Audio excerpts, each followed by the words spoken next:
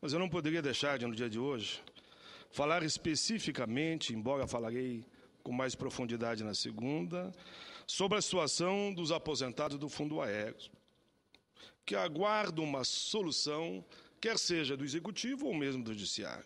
O problema da questão do Aeros se arrasta desde o ano de 2006. Mais de 17 mil famílias estão envolvidas diretamente. No ano passado, alguns aeroviários da antiga Varig, até, que até greve de fome fizeram, eh, pressionaram uma decisão e não houve solução. A situação é dramática, requer urgência. Muitos desses aposentados, com idade avançada, idosos, sobrevivem com, míngua, com a míngua aposentadoria da Previdência, já que o fundo não paga o que deveria pagar, e muitos estão ganhando um, dois salários mínimos e deveriam receber 12, 10, 11, 20 salários. O número assustador chegou ao meu gabinete e eu faço questão de mostrar hoje aqui. Sobreviventes do Aeros, Instituto da Seguridade Social sob intervenção.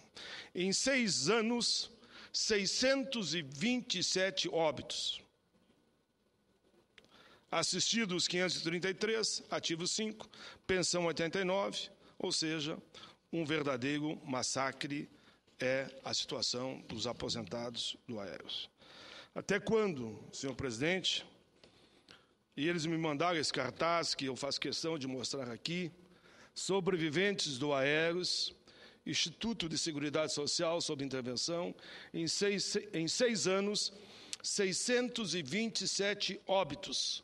Aqui eles dizem um verdadeiro massacre.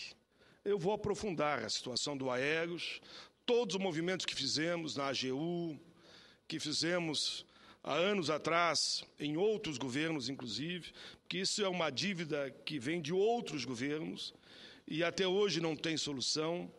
O caminho que fizemos junto ao Supremo Tribunal Federal e também não teve solução. O projeto de lei que apresentei aqui, que está travado numa das comissões, não sei porque obra mágica que conseguiu travar o projeto, que ia garantir o conforto jurídico para fazer o acerto do Aéreos, que até hoje não foi feito.